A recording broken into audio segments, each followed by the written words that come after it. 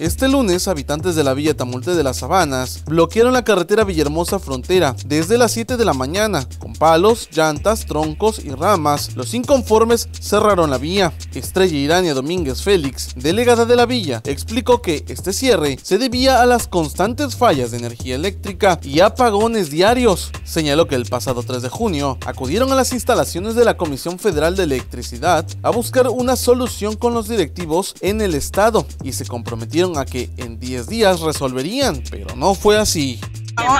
Apagones de 2 a 3 al día. Apagones. apagones, apagones. ¿Y bajones de tensión? De 3 a 14 todos los días. Incluso cuando el personal del CFE vino a ver la caída de tensión, estaban justamente con nosotros cuando empezaron a, caer. ¿Este problema desde hace cuántos años? Ya desde el año pasado estamos detrás de ellos con esta gestión. Oiga, eh, me dice que los afectados son alrededor de 13.000 habitantes, ¿verdad? Sí, somos 13.000 habitantes los afectados. Durante las primeras horas de la protesta, Alejandro Sebastián Pérez, jefe operativo de la zona Villahermosa de CFE, les informó que en aproximadamente 3 a 4 horas comenzarían a trabajar en desconectar su servicio del circuito Jolochero para conectarlo al de Macultepec, comunidad más cercana. No les digo que ya en media hora, nos va a llevar 3 horas en lo que los camiones cargan el material y se trasladan para acá de 3 horas como mínimo a 4 horas como máximo en lo que empiezan los materiales. ¿Dónde vamos a empezar? vamos a empezar de enfrente de la subestación que está aquí adelantito. Ahí van a empezar los trabajos. ¿Sale? El día de hoy. ¿Sale? Sin embargo, los pobladores no estuvieron de acuerdo, ya que no les daban información sobre la construcción de la subestación eléctrica que tiempo atrás les prometió el presidente Andrés Manuel López Obrador. Porque volvemos a caer en lo mismo, volvemos a caer en lo mismo. Minuta tras minuta no se puede.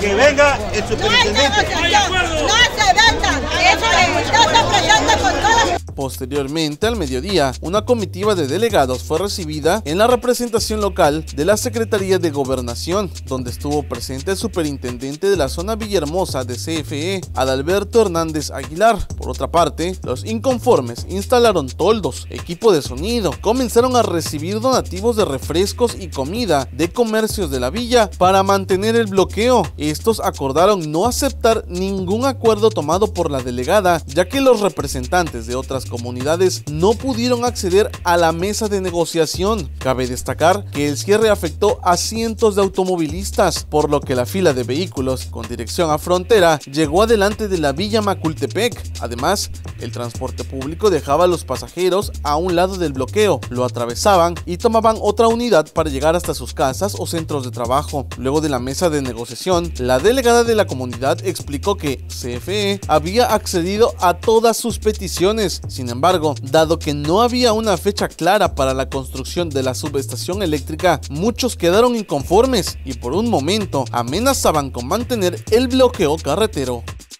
No, no todos están conformes. Querían que todo se hiciera ahorita, pero realmente, pues, eh, cuando vino el primer, este, los primeros enviados de la comisión, tuvieron oportunidad, pero lamentablemente el calor creo yo, pensar del momento, no permitió el acuerdo y se tuvieron que retirar. Ya posteriormente se abrió la mesa de diálogo, pero únicamente con comisionados. No, ya el bloqueo se va a retirar.